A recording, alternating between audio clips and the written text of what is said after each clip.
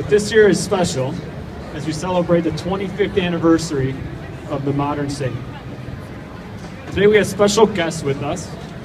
from state and city government, dignitaries from the diplomatic missions here in Chicago, the Honorable Croatian Ambassador from Washington, D.C., and a guest who came all the way from Zagreb, Croatia, Mr. Ivan Ril, uh, the editor of the diaspora project Moja Hrvatska, My Croatia, Uh, for the major